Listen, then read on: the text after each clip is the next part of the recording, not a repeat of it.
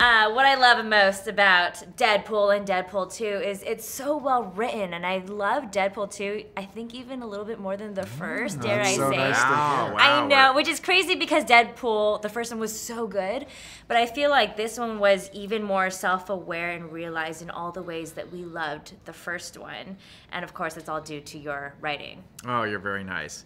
Uh, yeah, I mean, we tried to push it a little bit harder, but uh, somebody said the other day, what I love about it is it's similar, but it's different. And I was like, that's a really moronic thing to say.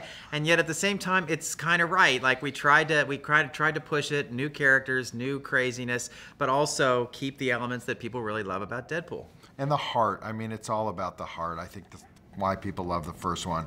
I think that's why we tried to infuse into the second one and give it, you know, we want people to laugh, but we also want people to feel and to cry at the end of this thing and, and get goosebumps. And, and hopefully we achieved it. Were there any jokes that were in the first one that now, when you watch the movie, you're like, I really wish that we didn't use that or we didn't do No, I mean, I, I we're, we're, we almost never feel regret. That's a great way to go through life. You tell a joke, you never feel regret about it. You just move on to the next one. We're regretful about everything else in Yeah, our but just lives not the jokes. Except the jokes. yeah, but no, we uh, the only joke we didn't end up using in this was a joke about Disney that we thought was a step too far and perhaps would have endangered the merger between Fox and Disney. So we just we, we, we grabbed the reins on that particular one. But other than that, we, we, we put the pedal down and we're, we don't feel regret. We just keep moving. The jokes when you make fun of the other Marvel films or the DC films or just pop culture references, those ones are my favorite.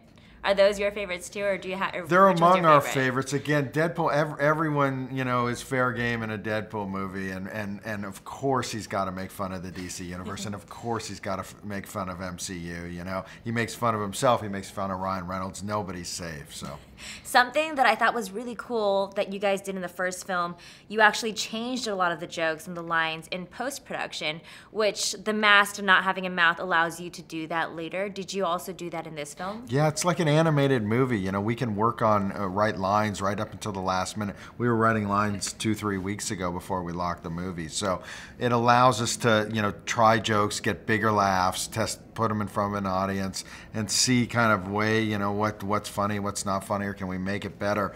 Um, so yes, we're we're writing up, you know, basically uh, from June of 2015. We were working on this movie uh, all the way up until two weeks ago. So. Stays fresh. Yeah. I hope that you guys make like five more of these movies. So do They're we. so awesome. You From don't need to do lip- anything else. From your lips to God's ears, to Thanos' ears. No, I, but yeah, for sure, we'd love to.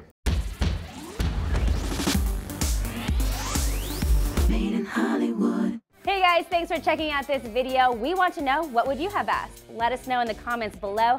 And if you liked this video, don't forget to hit the like button. And as always, for more videos like this, hit the MIH TV logo right here. And for the next awesome video, click right there.